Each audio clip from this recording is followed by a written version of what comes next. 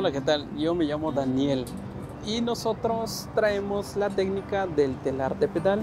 Nosotros los estamos visitando desde Oaxaca, especialmente desde Teotitlán del Valle. De hecho, todo el pueblo se dedica a tejer, todo, la mayoría de los, pues las personas ahí que viven tienen el telar de pedal. El telar de pedal consiste en que su nombre como este telar de pedal se realiza con los pies, se teje con los pies y con la ayuda de las manos. A nosotros nos enseñan desde chicos, a mí me enseñaron mis papás, de hecho esto es de generación en generación, vamos pasando desde los más chiquitos hasta los más grandes participamos en nuestra labor, desde poder cardar, desde poder trasquilar, teñir, tejer y tener terminado el producto.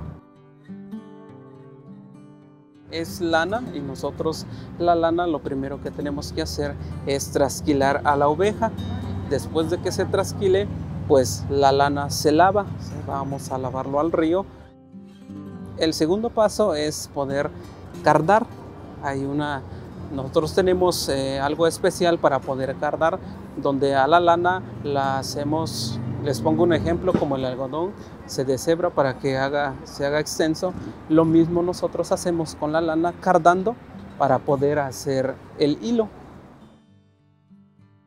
Y el segundo paso también es, el tercer paso, perdón, este, teñir. El proceso del teñido lo hacemos con los tintes naturales, la cochinilla, el índigo, pétalos de rosa, eh, la granada y todo lo que también pueda ser natural y lo dejamos reposando, reposar. Y después de eso, la lana se tiene que pasar su proceso para que se pueda secar y levantamos el undimbre. Pues tenemos que levantar una cierta cantidad para poder meter en el telar hilo por hilo. Y después el siguiente paso pues es tejer. Tejer ya en el telar, elaborar la pieza como el que yo tengo aquí, que se llaman grecas, los pajaritos, el árbol de la vida, monederos y todo, todo, todo. Y al final, pues si es una bolsa o si es un monedero, que es el último paso, pues ya otra persona también participa terminando la pieza, cerrando la pieza para que al final esté para que ustedes lo puedan adquirir. Sí se complica a veces porque el cliente, la persona que lo adquiere, eh, te regatea. Entonces para nosotros pues de mucho tiempo y el proceso que es muy extenso para que en su momento te regatean pues sí es difícil porque a veces eh, en la familia pues es de donde todos dependemos.